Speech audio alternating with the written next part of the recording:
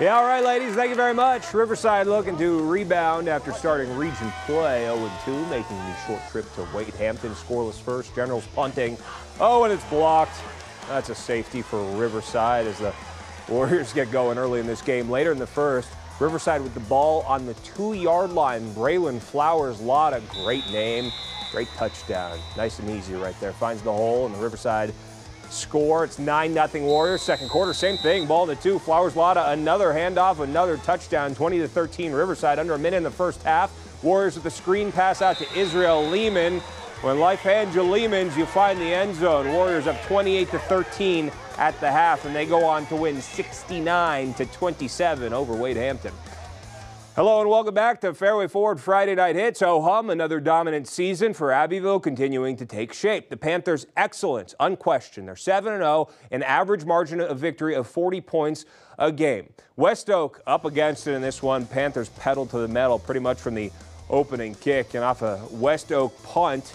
It's C.J. Vance fielding it on the hop, losing folks and finding peace. How about a 55-yard punt return touchdown as he goes all the way down the field, making a didn't even really have to make a bunch of people miss because he's got a lane, he's got blockers, and we're just getting started for Abbeville. Jamarian Burton, he's moving, he's grooving, he's got another Panthers scoring play. And all right, now they're here, they are backed up on the three-yard line. Surely this won't be a touchdown, but it is a touchdown. And don't call me Shirley. Antonio Harrison can scoot 97 yards with a lot of room to roam, and it was that kind of night for both Abbeville and West Oak. They beat the Warriors 54 to nothing.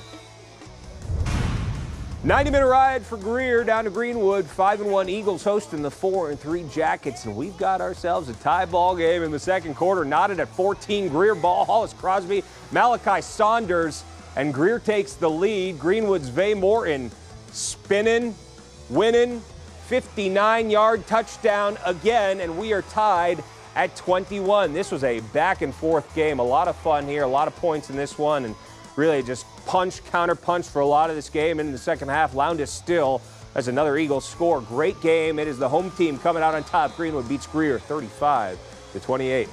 Let's drop back in and a few more scores. Travelers Rest beating Walhalla 29 to 22, and Clover over Boiling Springs 17 to 7, and Southside they stay unbeaten in their region, 36 to 26 over Blue Ridge.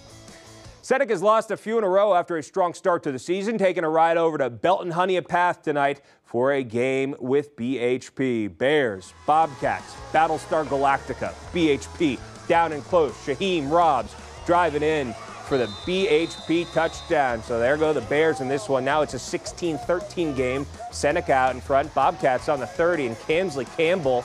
Oh, he's going to make some moves on his way down, and he gets into the end zone as Seneca takes a 10-point lead. Bears not hanging their heads, though, as they come right on back. Donatarius Burns in for another BHP touchdown. They rally, and they beat Seneca 61 to 38, the final score there.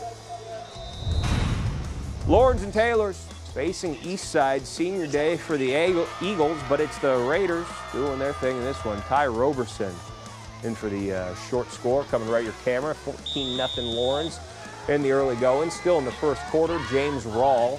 He's going to look for his guy, Michael Mankaka, right here, a 44-yard well, catch and run, and he's off to the house, and the Raiders are bouncing. It's 27-0 before the end of the first quarter. Laurens is moving along comfortably in this one. Then it's going to be Rawls going deep to Jay Pulley, and Pulley's coming up with another touchdown for Laurens. They uh, blow out Eastside here, 69 to 10.